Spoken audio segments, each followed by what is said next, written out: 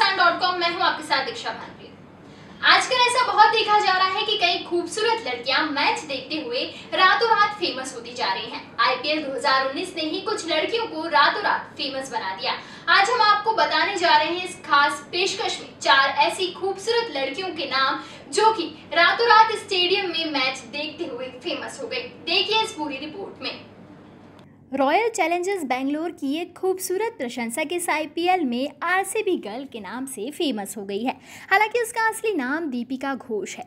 Royal Challengers Bangalore और Sunrisers Hyderabad के बीच चार मई को हुए मुकाबले के दौरान कैमरामैन ने कई बार कैमरा उनकी तरफ़ किया था और रातों रात उन्हें फ़ेमस कर दिया था। इस मैच के बाद से दीपिका को लेकर कई तरह के ट्वीट किए जा रहे हैं। वहीं उनके नाम से कई खबरें भी आई थी।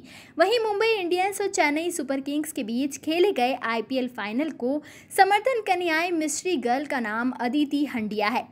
मीडिया रिपोर्ट्स के मुताबिक अदिति हंडिया, ईशान किशन की गर्लफ्रेंड है और कई बार सोशल मीडिया में ईशान किशन को चेयर भी कर चुकी हैं। अदिति हंडिया एक मॉडल है और मिस इंडिया 2017 में हिस्सा ले चुकी हैं।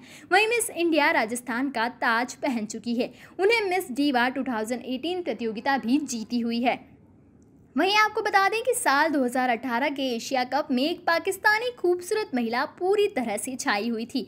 इस पाकिस्तानी समर्थक को लेकर भारत और पाकिस्तान दोनों ही देशों के ट्विटर यूज़र ने जमकर ट्वीट भी किए थे। ये पाकिस्तानी समर्थक एशिया कप के हर मैच के दौरान स्टेडियम में पाकिस्तान की जर्सी पहनकर आ रही थी। ये समर्थक अपनी खूबसूरती को लेकर भी काफ़ी चर्चा में थी। बता दें कि मीडिया रिपोर्ट्स के मुताबिक इस पाकिस्तानी प्रशंसक का नाम निव्या नवोरा था।